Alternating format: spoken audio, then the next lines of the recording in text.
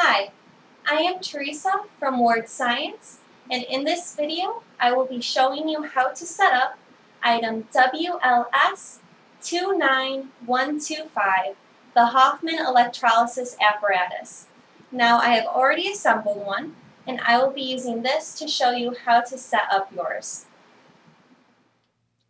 The first step is to have the glassware lying on a tabletop and then connect the reservoir tube to the electrolysis tubes. Use the rubber tubing that is included to do this. Put the screw through the middle hole on the mounting panel on the side that is indented. Next, have the mounting panel lie on a tabletop facing up and attach the electrolysis apparatus to the mounting panel in the following way. This can be done by running cable ties or the clips that are provided through the holes on the mounting panel. Now if you are using the clips, the best technique would be to almost flatten them out and then pinch the ends together to feed them through the hole. Then on the other side of the mounting panel, flatten them out so that they are secure.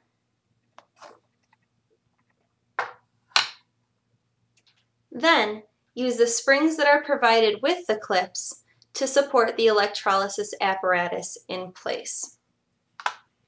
As you can see here, we are using both the springs and the cable ties to support the apparatus.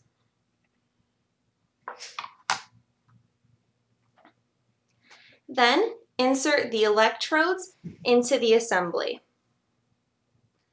Then assemble your ring stand and attach the apparatus to it using the clamp that is provided. Then connect the banana jacks to the mounting panel in the following order. So you start with your banana jack, followed by the following piece, followed by the, a nut,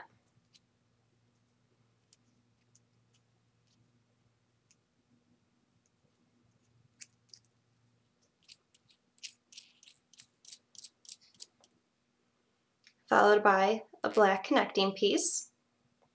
And then this would go through the mounting panel.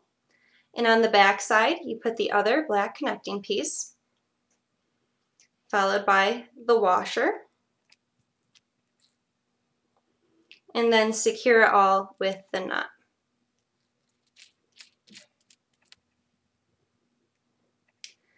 And then you thread the wire from the electrode through the hole that is on the inside piece of the banana jack. From here, all you have to do is add your aqueous or water solution and connect a power supply through the banana jacks. As you can see, there are bubbles forming around the electrodes. This indicates that water is decomposing into oxygen and hydrogen gas due to the electric current that is being passed through it. In order to prove to your students that these gases are being produced, you can perform a wooden splint test. If the wooden splint stays lit and burns brighter, oxygen is being produced. If you hear a pop and see a flash when you put the glowing splint in, that means hydrogen is present. Thank you for watching how to set up and use a Hoffman electrolysis apparatus.